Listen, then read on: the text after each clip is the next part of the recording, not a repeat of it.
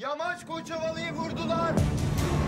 Yamaç Koçovalı vuruldu. Yamaç Koçovalı'yı vurdular. Cumali! Yamaç abi vuruldu. Yamaç Koçovalı vuruldu. Evet. Yamaç Koçovalı vuruldu. Uyanın. Neden yaptın bunu ya?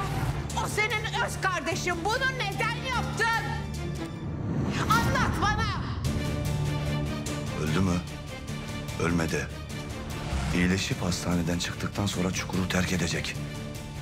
Onu bir daha burada görmeyeceğim. Bu benim son sözümdür. Sen kim oluyorsun ulan? Ha? Benim oğlumu evinde... Komutanım! Senin oğlun benim babamı vurdu. İdris Koçovalı'nın katili.